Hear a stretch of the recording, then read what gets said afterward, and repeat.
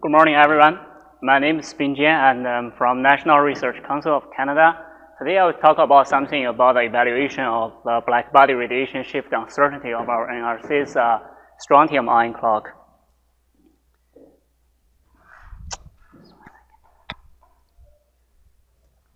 So first I'll give a short introduction of our NRC's strontium ion clock. So NRC's strontium ion clock is based on the optic, um, the electrical quadrupole transition uh, from this S ground state to the de-excited state. So the uh, single ion, strontium ion is trapped in this endcap tab uh, uh, ion trap as is shown in this image. So this, uh, this clock transition is, uh, has the wavelength of 674 nanometers and has a natural line width of 0.4 hertz. This is very suitable to be used as the optical frequency standard. And uh, uh, this transition is uh, probed using a very ultra stable laser. besides this clock clock laser, there's a bunch of there are some other lasers like to for the laser cooling, state preparation, and optical pumping purpose. Um, so over many years hard work, so the current status of NRC's strontium ion clock in terms of accuracy has reached uh, 1.2 10 to minus 17, 10 to minus 17 level.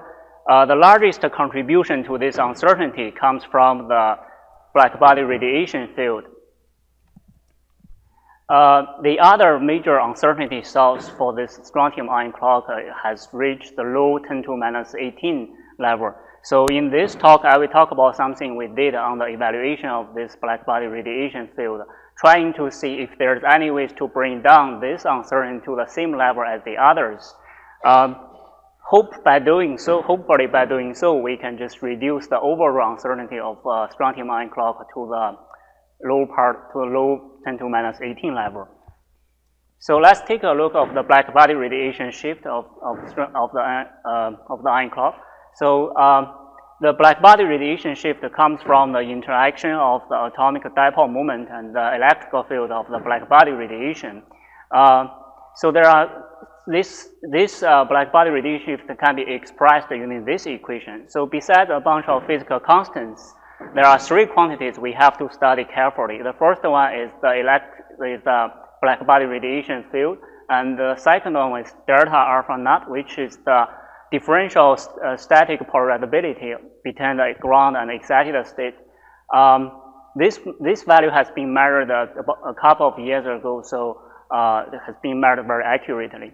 The third one is a temperature-dependent dynamic correction to this uh, differential scalar polarizability.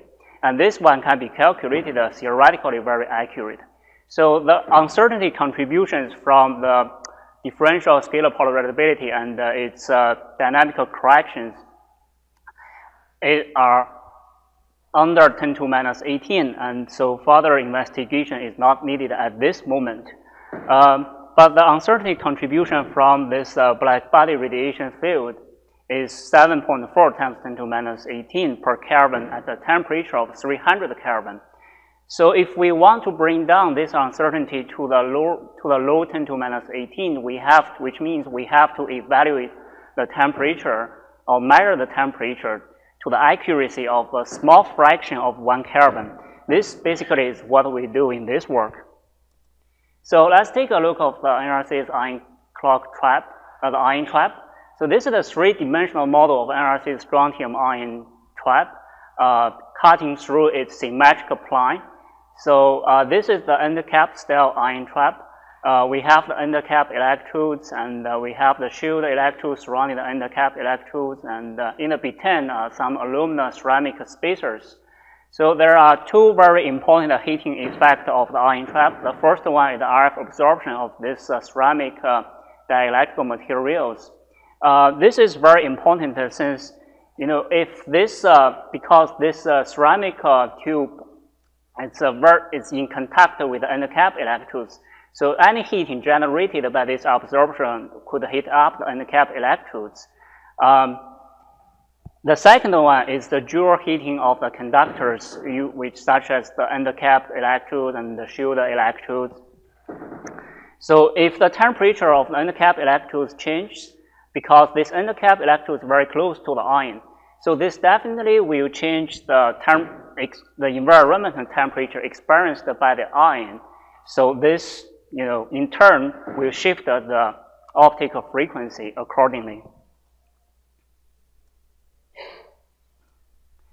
So to evaluate the temperature or measure the temperature, you may think we can put the thermistor in the between of these two end cap electrodes and uh, just measure the resistance change of the thermistor as the temperature changes. However, this doesn't work accurately. The reason is this RF applied to for the for the ion trap will heat up this thermistor, so this won't give you a very accurate measurement.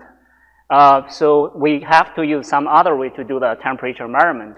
So one way we think to do it is use the thermographic way, which is to use the infrared camera to measure the thermal image of the ion trap under the normal operation of the trap. And by analyzing this uh, thermal image of the trap, we hope hopefully we can extract the useful, reliable temperature of the trap component. So this is the principle of this uh, thermographic temperature measurement. If we have the infrared camera here, so basically the, the camera detects the, the radiation emitted by the object uh, at the temperature like T, and uh, also the radiation reflected by the object from the ambient environment, as well as the radiation from this uh, atmosphere around this uh, setup. Um, so the temperature, the radiation emitted by the object can be related to the radiation by the from the perfect black body at the same temperature through the quantity called the emissivity. So the emissivity is actually the radiation, is the ratio of the radiation emitted by the object over the radiation emitted by the perfect black body at the same temperature. So emissivity has a value from 0 to 1. So the perfect black body has emissivity of 1. So um, after some simple mathematical operation, we have, so this camera could tell us the, the radiation from the perfect black body at the same temperature of the object uh, related to the, temp to the total emissivity detected by the infrared camera.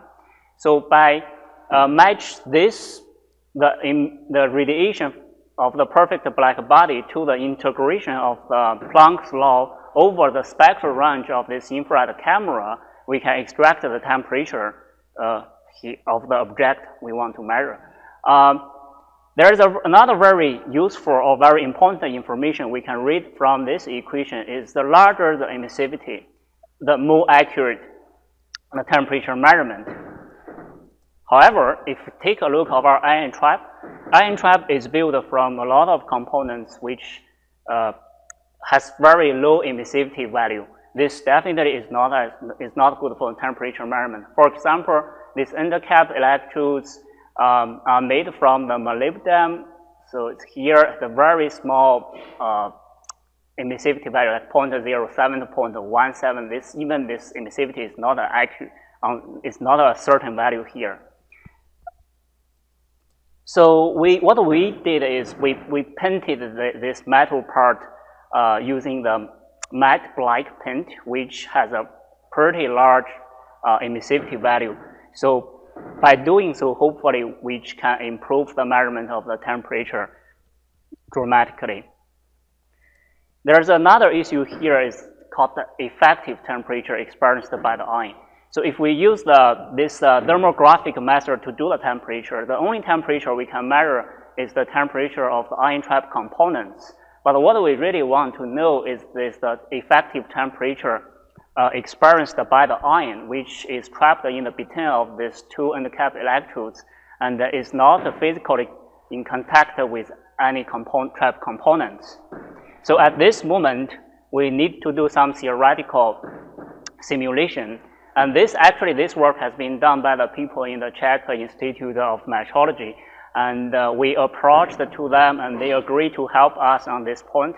So the idea is we will modeling the ion trap, the heat, the thermal effect of our ion uh, trap components using the finite, uh, finite element simulation.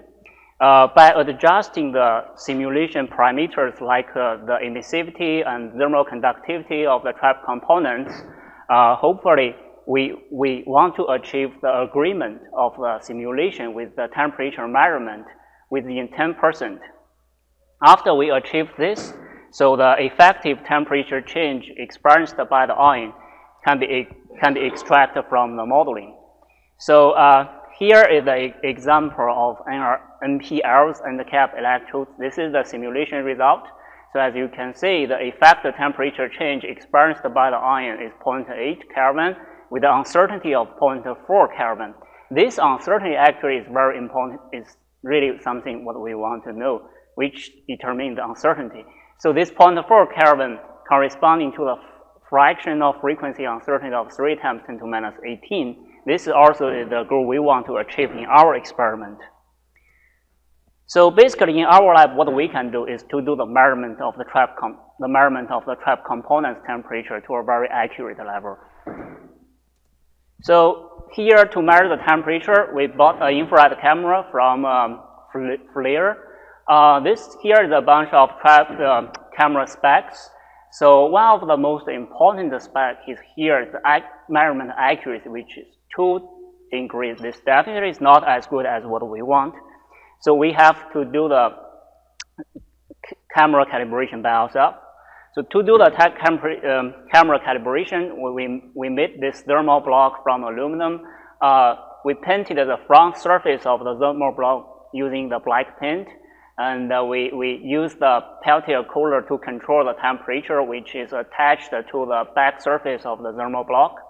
And uh, this uh, temperature, the real temperature of the thermal block is uh, monitored using the calibrated uh, thermistors. And uh, the whole, this, this package is, is surrounded by these thermal isolation materials. So we put the camera in the front of the front surface of this thermal block and do, we measure the temperature using this infrared camera. So here is some preliminary result. This is the thermal image of the center part of the front surface of this uh, thermal block. So this uh, black, uh, this uh, red region in the thermal image corresponding to the black region in this uh, in this uh, in this picture of the thermal block. So we plotted the temperature distribution along the vertical and horizontal lines through the center of this image. As we can see, the temperature distribution is very uniform in this painted region, which tells us this that by painting the surface using the um, high emissivity paint uh, can increase the temperature measurement accuracy of uh, re reliability dramatically. So next, what we want to do is to compare the temperature measured by the infrared camera with the temperature measured by the thermistor so here we plotted the temperature, the difference of the temperature measured by the infrared camera and the thermistor as a function of the temperature measured by the thermistor. This, the temperature measured by the thermistor, we treated as the real temperature of the thermal block. So we did two types of measurement with or without the close-up lens attached to the infrared camera. Uh, so for the measurement without the close-up lens, the temperature measured by the infrared camera and the thermistor, they agree with each other very well. However, the, when, when we use the close-up lens, uh, there is a linearly shift of the temperature. Uh, we, we observe a linearly shift or offset of the temperature when using the close-up lens. Uh, we believe this is because the use of this close-up lens this is confirmed by inserting a zinc selenide window in, in the between of the thermal block and the infrared camera. And uh, the, this shift, the slope of the shift becomes larger. Uh, there are many uh, data sets plotted in this uh, graph, in this plot. Uh, different data set repre represents the different measurement uh, arrangement, like we put our thermal block and the camera in different location of the lab, trying to figure out what's the influence or the effect of, from the environment. Turns out that's not very large. Um, so if we have this measurement, we can fit this measurement with a linearity function, and uh, we treat this as a calibration of our uh, at a calibration of our infrared camera. By analyzing the residue of this linearly fit, we can get this measurement uncertainty, which is about 0.1 degree. So for the next step of the experiment, we, we come up with some better idea is to make a small thermal block and mounted this small thermal block uh, to the support of our ion trap and put this package to the vacuum system. Uh, because here, you, as you will see later, so this thing will be replaced by, the, by our ion, test ion trap. So again, we will paint the front surface of the thermal block to the black to increase the emissivity. We will use the calibrate the thermistor to monitor the real temperature of the block. Uh, uh, the, we will put the infrared camera here outside of the vacuum to do the measurement through this zinc selenide window. So hopefully by doing so, we will have the relation between the real temperature of the trap of the thermal block and the temperature measured by the infrared camera. So after we, after this, we want to replace that uh, thermal block with our ion, with our ion trap. Um, we will make some black paint point spot on the ion trap components, and we will do the temperature measurement using the infrared camera outside of the vacuum, vacuum chamber.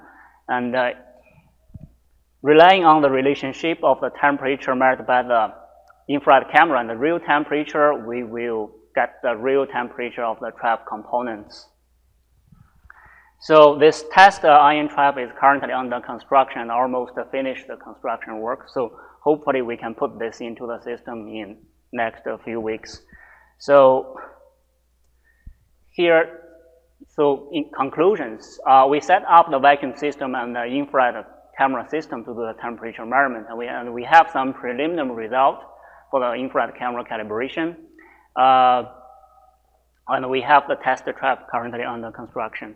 So the future plans, so we want, we will do this in vacuum calibration of infrared camera, and uh, we will measure the, the, the temperature uh, of the ion trap components, and also we, we need some theoretical analysis with, with the collaboration with uh, Czech Metrology Institute. And uh, by doing all of this, hopefully we can uh, achieve the target of the black body radiation field uncertainty of our strontium ion clock to less than 3 times 10 to minus 18. Okay, thank you very much for your attention.